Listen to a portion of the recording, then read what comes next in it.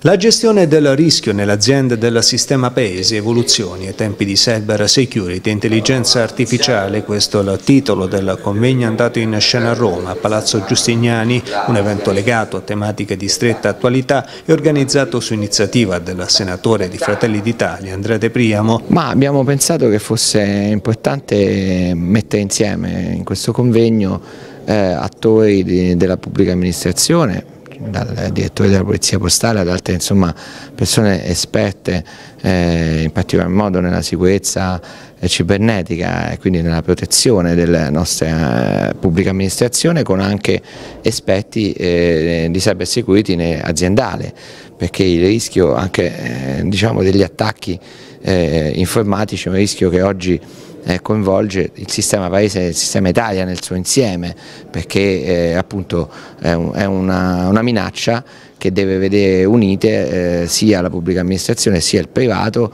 nella consapevolezza e nell'organizzazione di una protezione, di una rete di protezione che è una premessa fondamentale nel, nello scenario odierno per, per la, non solo per la sicurezza ma per la prosperità di una nazione. Diversi relatori intervenuti presso la Sala Zuccari nel corso di una tavola rotonda moderata da Ruggero Parrotto, direttore generale della Fondazione Quotarella ed esperto di comunicazione e negoziazione, a prendere la parola tra gli altri il direttore della Polizia Postale e delle Comunicazioni Ivano Gabrielli e Williams Nonnis, analista in materia di digitalizzazione e innovazione della Presidenza del Consiglio dei Ministri, struttura di missione PNRR, secondo gli esperti di strada da fare fare ce n'è ancora molta perché si stima che in futuro saranno sempre più frequenti gli attacchi pianificati dalla criminalità organizzata, nemico numero uno quando si parla di cyber security, opportuno quindi che le istituzioni si facciano trovare pronte e che a breve si riesca soprattutto a garantire una formazione quanto più completa e veloce.